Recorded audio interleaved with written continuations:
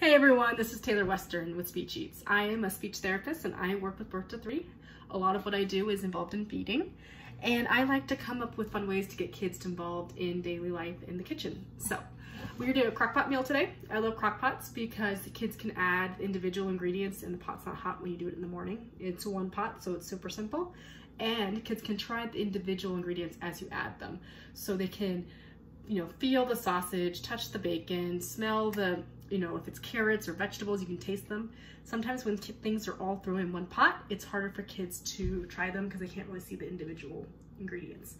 Now we are making a classic Southern dish. It's uh, pinto beans and cornbread. I'm doing a little bit of a Creole feel, so I'm adding some sausage.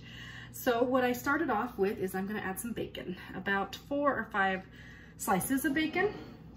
And I'm trying to think of a, if you want to do like a vegan dish or vegetarian, you can just do the pinto beans, and leave out the meat. Uh, I like to add the meat because it adds a little bit of a salty flavor, but again, you can adjust this for um, how your family typically eats their meals every week. So we're heating up our bacon. We're gonna make it nice and crispy. And then I got one large onion that I'm gonna add right into our bacon. So I'll show you what's going on right now. And this is just a nice weeknight dish. What's great about this is that it's very, very simple and you can kind of adjust it to what you need. I sometimes would do a ham hock at the end. That's a, kind of the traditional way, but I'm going with a sausage this time. I got the heat going.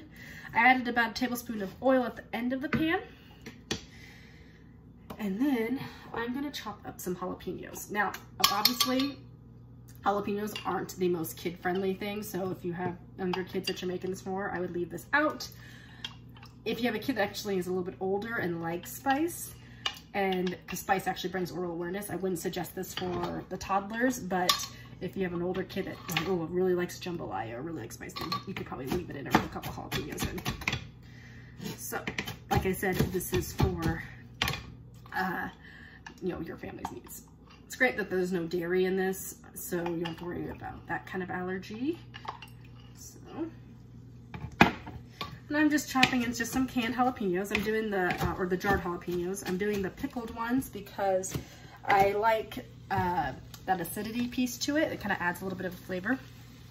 This is kind of cooking. I'm gonna add a little bit of pepper to our onions and our bacon. And we're really just using this to uh, just let the onions and meld those flavors before you add them in. And while this is cooking, I'm gonna add three cans of jarred pinto beans into our crock pot. One. And you could do chili pinto beans. Uh, I often make, this is, often make red beans and rice around Mardi Gras, so this is kind of a similar take on this using the crock pot. And normally then I would do the sausage and a ham hock. And you can even do both as well, that would add lots of flavor. I'm just doing this as a simple weeknight dish. Um, here's my third can. Now I'm also gonna add some garlic to our pot, but then I'm gonna add just some minced garlic just into our beans because I like a lot of garlic. Garlic brings a lot of yummy flavor. So here's my garlic, I'm gonna add that in. And then as this cooks, I'll add some extra spices to our pot. So I got some onion salt. You could also do garlic salt. I'm adding that to our pot, and I'm also adding a little bit to our pan. And this is just a taste. You can adjust flavors once, um, once it's all ready. Got some paprika. And again, this is optional, but I have red pepper I'm, because we like it spicy in our house, but again, leave it out if you have picky kids or you have younger kids. A lot of times kiddos who have reflux, the history of reflux, they tend to like that spice or that big flavor because a lot of times they have that acidity taste in the back of their mouth, and so you'll wonder why they like that really big pungent flavor.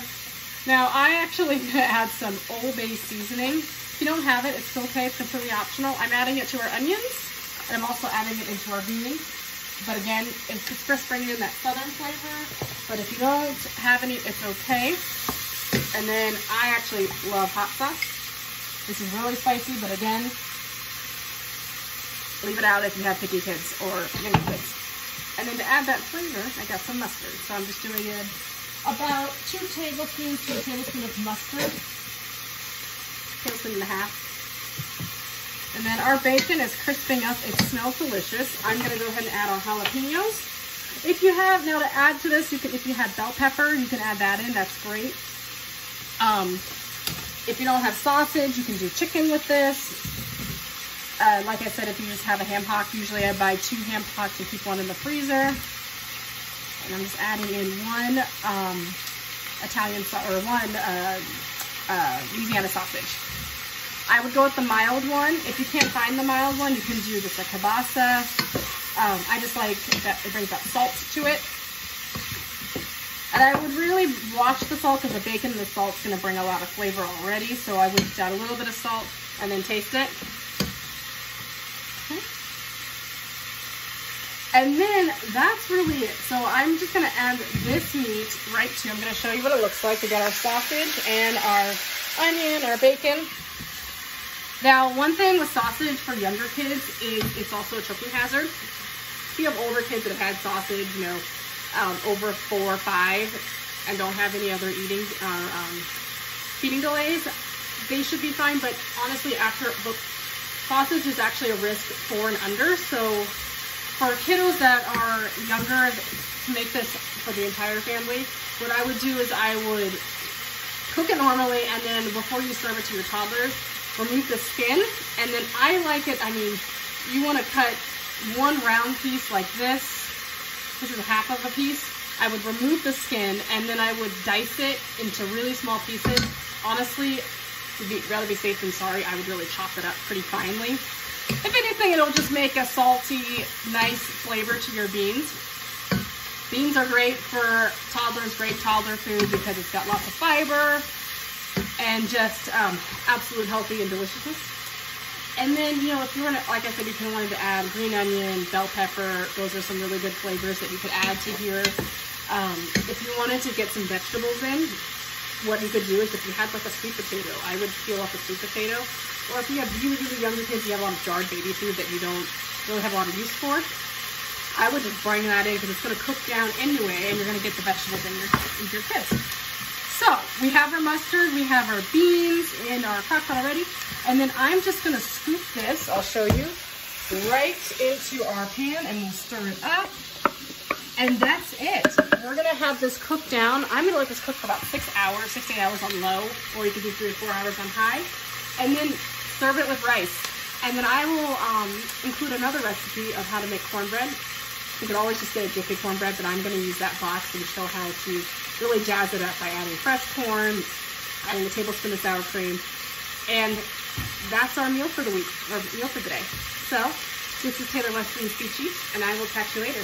Bye.